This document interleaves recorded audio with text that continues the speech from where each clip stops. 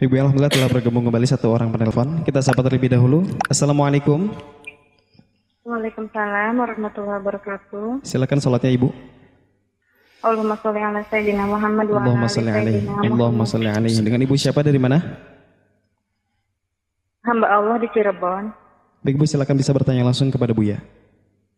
Assalamualaikum Buya. Waalaikumsalam warahmatullahi Semoga wabarakatuh. Buya selalu sehat selalu dan Amin. semoga selalu dalam lindungan Allah Subhanahu wa taala. Amin ya rabbal alamin.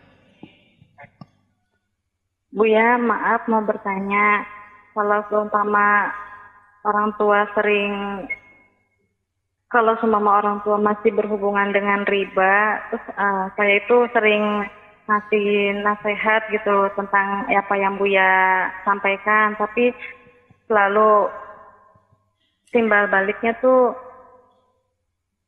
jadi eh, apa namanya tuh tidak mau menerima gitu. Itu gimana Buya bi- biar orang tua tuh terlepas dari riba gitu. Model kayak model pinjaman di koperasi gitu loh Bu ya. Soalnya kasihan gitu anak tuh, soalnya orang udah tua gitu kan masih ada kayak gitu.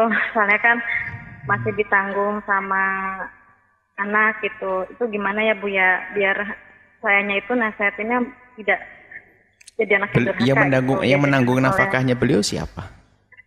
kakak Oh, yang sudah. ada di luar Oh. negeri. Oh baik baik. Iya, makasih Bu ya atas penjelasannya. Assalamualaikum. Waalaikumsalam warahmatullahi wabarakatuh.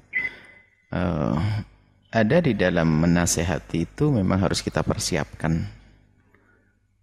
Kalau tidak boleh makan ini, harus ada makan yang lainnya. Kan begitu bahasa sederhananya. Jangan tidak boleh makan ini, tapi nggak disiapkan penggantinya. Berarti kan suruh mati.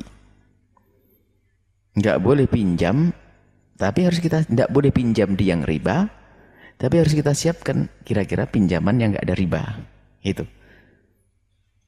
Akan tapi jawaban ini sudah ada, permasalahan ini sudah dijawab. Kenapa?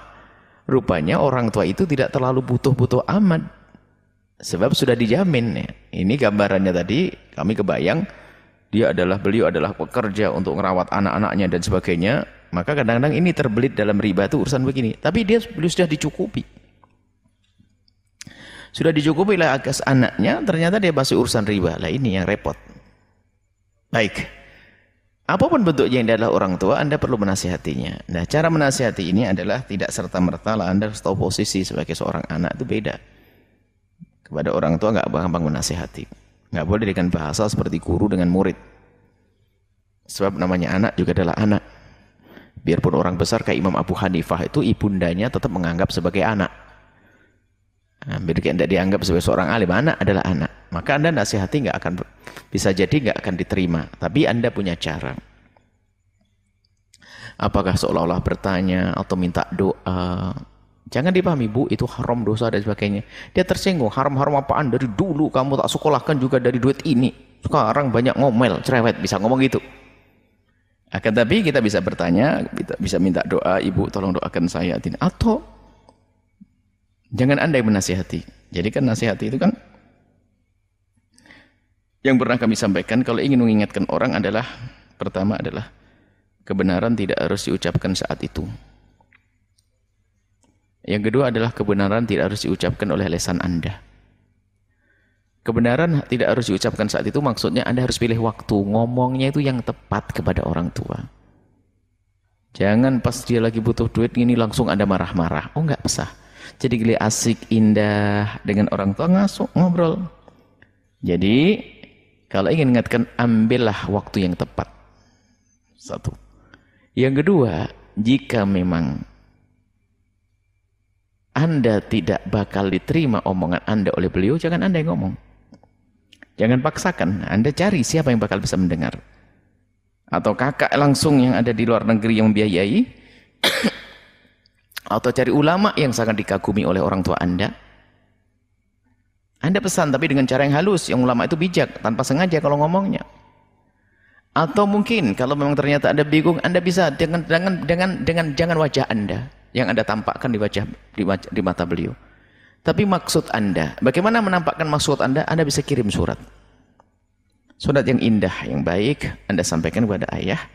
Dan waktu ayah membaca atau ibu membaca, jangan Anda di hadapannya. Sebab kalau kelihatan muka Anda, mukanya seorang anak.